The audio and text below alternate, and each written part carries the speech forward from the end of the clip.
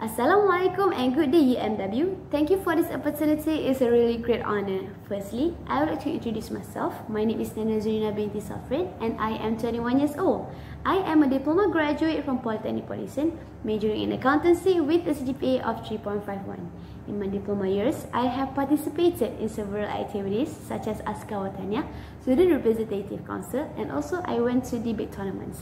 My inspiration is, is I want to further my studies in Associate Certified Chartered Accountant and in PhD.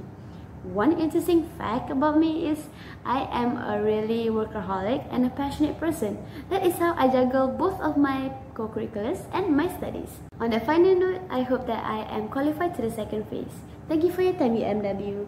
I am looking forward to hear good news from you soon. Best regards, Nadia. Assalamualaikum and good day.